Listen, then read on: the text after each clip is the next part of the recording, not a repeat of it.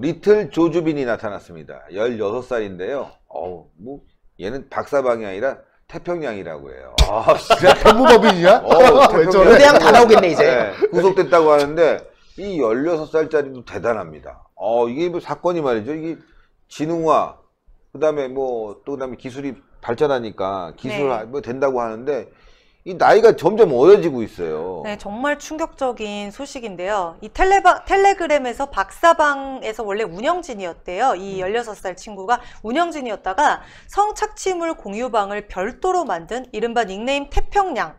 그러니까 태평양으로 활동하던 이 친구가 지난달 구속 된 게 확인이 된 것입니다. 근데 이 충격적인 게 알고 보니까 16살로 알려져서 지금 발칵 뒤집혔다는 거 아니겠습니까? 이 태평양이라는 인물은요, 지난해 10월부터 올해 2월까지 태평양 원정대라는 태평양 원정대. 네, 이름도 되게 어, 거창한데 이런 원정대. 이름을 가진 음란물 공유방을 별도로 운영을 해가지고요. 회원을 무려 1만 명 가량이나 모으고 16살이 네. 태평양 원정대로 놀랍다, 진짜. 놀랍다 아, 네, 진짜. 정말 정말 놀라운데요. 이렇게 모은 것으로 추정이 되고요. 이 대화방에서는요. 수백 개에서 많게는 수천 개 가량의 음란물이 공유된 것으로 밝혀졌는데 다수가 피해자 성착취 영상과 성희롱 영상으로 밝혀졌습니다. 이 태평양이라는 인물은요 원래 박사인 조주빈과 분쟁이 생겨서 쫓겨났대요. 그래서 가지가지 하네, 진짜. 아, 네, 정말 연이 있는. 사람이에요? 네, 원래 박사방의 운영진이었다가 아. 박사랑 그러니까 분쟁이 생긴 거예요. 그래서 너 나가 해서 쫓겨난 뒤에 아 내가 이대로 있을 수 없지 했는지 16살짜리가 예, 자신만의 음란물 유포방을 만든 거예요. 아. 그게 와. 태평양 원정대인 거죠. 진짜 배운 게 도둑질이라고. 그렇죠, 그렇죠. 진짜. 어떻게 저런 짓을 16살짜리 소년이 할 수가 있습니까? 근데 이 기간이 굉장히 짧아요. 보면 10월부터 3월까지니까 한 5개월 정도 사이에 1만 명을 모아가지고 이것도 유료였을 거 아니에요. 10월부터 2월까지. 2월까지 4개월 아니, 방. 이름은 소년스러워요. 대박. 태평양 원정대. 왠지 모험감 있는 그런 모임방 같지 않습니까? 태평양. 원정대. 그게 그 안에서 저런 추잡한 일이 이루어졌다는 어떤 게 시청자분은 경악스럽습니다. 비유하시기 분가했구나라고 지금 말씀하셨는데, 분가해. 네, 분가했다고 맞아요. 지금 옛날에 네, 보면요. 맞아요. 그 다단계 피라미드 하는 사람들도 보면은 꼭 다단계 피라미드에 피해를 입은 사람들이 다단계 피라미드 아, 시작해요. 그거 정말 맞아요. 진짜 네. 맞아요. 그거는. 음. 그러니까 뭐 이게 기술이라고 뭐 배운 건지 모르겠는데 정말 황당한데요. 이거를 또 배워가지고 이런 악마 짓을 배워서 똑같이 이렇게 리틀 조주빈으로서 노하우 해가지고 하는 게요. 대표적인 게 있어요. 옛날에 노사모라고 있었잖아요. 아. 아. 노사모에 이렇게 그좀 조역쯤 되죠. 그러니까 중심부에 못 들어가고 구, 구경하던 사람 중에 그런데 정모 씨가 있었어요. 노사모에서 뭐 박사모도 있고 예. 뭐 그다음에 그땐 창사랑도 생기고 그렇죠, 뭐 예. 그런 그 비슷비슷하게 생기는 건 뭐 근데 또 이게 또 다른 문제니까. 아니 노사모 출신이에요, 근데 네. 그분이. 음. 어쨌건 말이죠. 이 16살짜리까지 이러한 예, 범죄 행위에 가담했고 회원을 단기간 안에 1만 명이나 모았다고 합니다. 네. 그런데 이게 굉장히 중요한 게 네. 얘네들이 다 그 주민등록증이라든가 네. 전화번호를 다 확보해서 고객을 관리한 거 아니에요. 아. 여기 엄청난 지금 어, 문제가 발생할 수 있다. 그래서 지금 벌벌 떠는 공무원들, 고위직들, 예, 정치인들이 많다고 합니다. 예, 난리가 났어요. 26만 명 싹 밝혀갖고 말이죠. 예, 아주 어, 단계별로 해갖고 어떤 사람들은 뭐 어, 처벌하지만 어떤 사람들은 또 이렇게 봉사활동 시키고 그렇죠, 예. 어떤 사람들은 다 깜빵에 쳐 넣어야 될 것 같습니다. 이거 너무 너무 너무 심각한데 네, 정말 나라가 미쳐 예, 돌아간다. 미쳐 돌아가요 진짜. 예. 아니. 어쩌다가 이- 신미네르바님, 내가 뭐랬어요? 예, 자살골 넣을 것 같다고 했죠. 이게 자살골 됐어요. 예, 맞아요. 정말. 예, 정말 충격적이고 이 관련된 게 지금 계속해서 양파처럼 나오고 있잖아요. 음. 그래서 진짜 이게 사실 실제로 벌어지는 일이라는 게 굉장히 충격적인 것 같습니다. 예, 해야 될 것 같습니다. 예, 또 지금 보니까요. 예, 아까 정칠수님인가? 예, 정칠수님 감사하고, 어, 노원구 불주먹인가요? 예, 네, 맞습니다. 불주먹님도 감사합니다. 자, 그리고 또 보니까 이 민주당의 이종걸이 하, 참, 그 우리 미래통합당의 그 해피핑크 예. 이거를 또 하, 너무 저질스럽게 발언을 해서요. 이건 아. 진짜 미래통합당이 대응을 해야 될 것 같습니다. 소시전합니다. 네, 더불어민주당 이종걸이요. 미래통합당의 당색을 가리켜서 이렇게 말을 했습니다. 정말 입에 담기도 저질스러운 말인데요.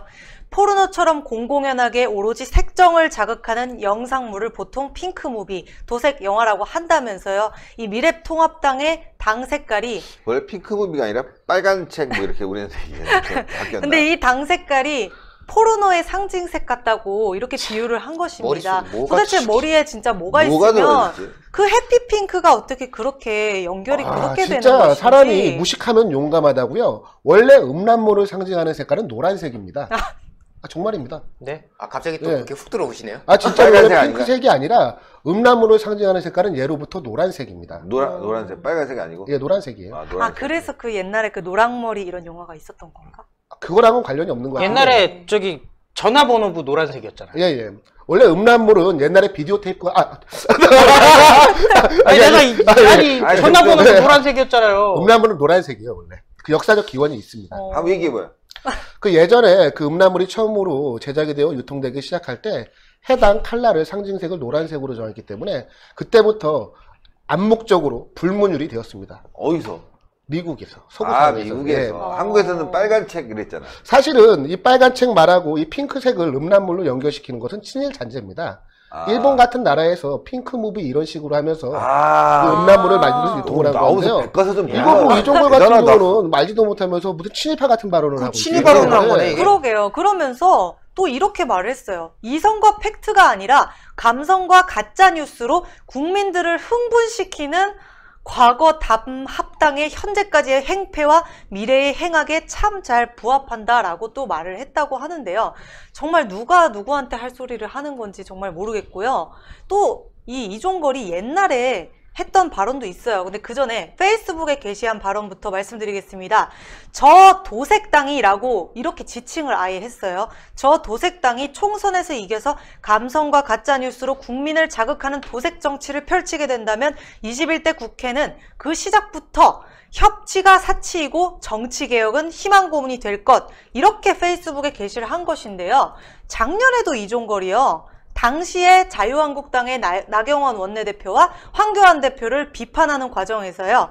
오빠라는 등의 발언들을 하면서 음. 조롱을 해가지고 성희롱 논란을 빚은 적이 있다고 합니다. 이에 대해서는요. 풍자였다 이렇게 대처를 하면서 해당 단어를 그냥 삭제를 싹 해버렸다고 합니다.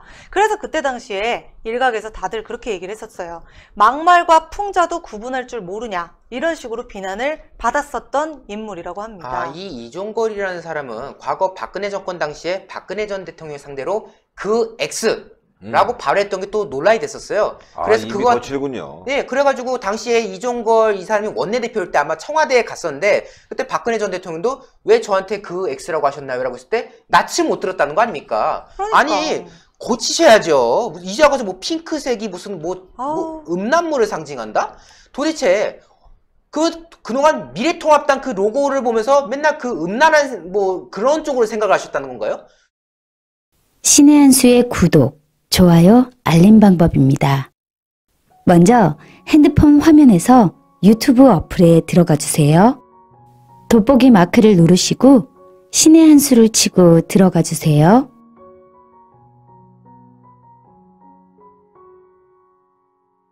보실 영상을 눌러주세요. 아래의 구독 버튼을 눌러주세요. 그럼 종 모양이 나옵니다. 그 종 모양을 눌러주시면 신의 한 수의 새로운 영상들이 알림이 울립니다. 그리고 엄지척 좋아요 버튼을 눌러주세요. 여러분의 구독, 좋아요 버튼은 신의 한 수의 큰 힘이 됩니다. 댓글로 여러분의 많은 의견도 듣고 있습니다. 응원의 댓글도 부탁드립니다.